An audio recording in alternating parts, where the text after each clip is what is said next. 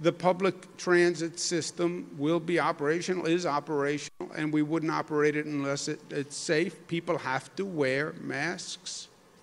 Uh, but uh, the public transit system will be safe, and individuals will make their own choice, as they always do, right? Um, I'm a. Queens boy. I always had the choice: take the train or take the car. Um, but as I said, taking the car has obvious environmental issues and is incredibly expensive.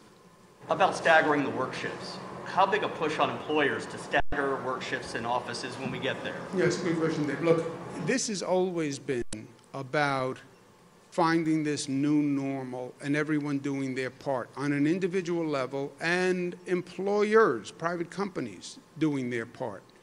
And I've been frankly amazed, pleasantly, at how creative and how uh, thoughtful the employers have been in staggering their workplace, staggering hours, staggering days.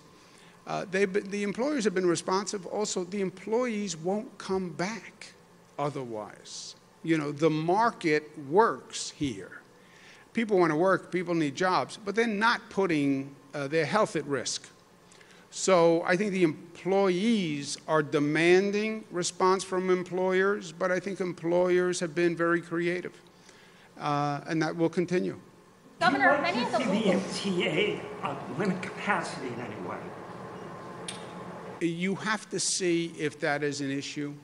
Uh, social distancing, as we maintain it uh, in other circumstances, I don't know that you'll be able to maintain strict social distancing on a bus or a train.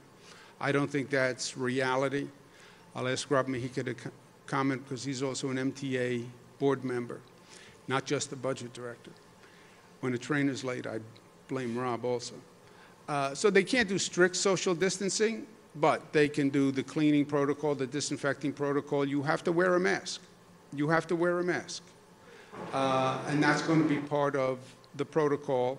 And they're going to be doing the best they can to stagger uh, volume on trains, et cetera. And they're going to have personnel who are working to limit uh, how many people get onto a train and do the staging.